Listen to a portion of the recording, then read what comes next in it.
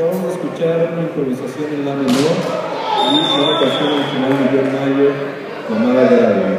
A continuación, una canción de Led Zeppelin hecha ya. Espero la disfruten tanto como nosotros.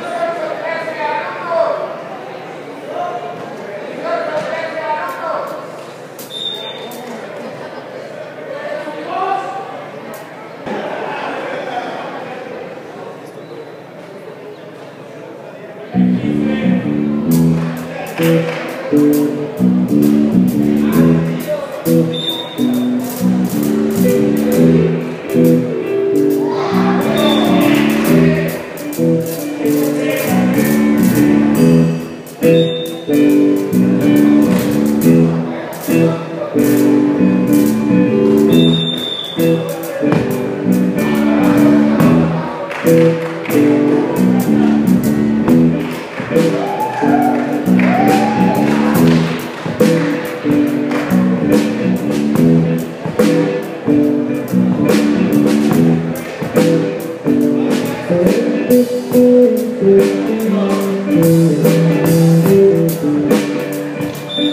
Thank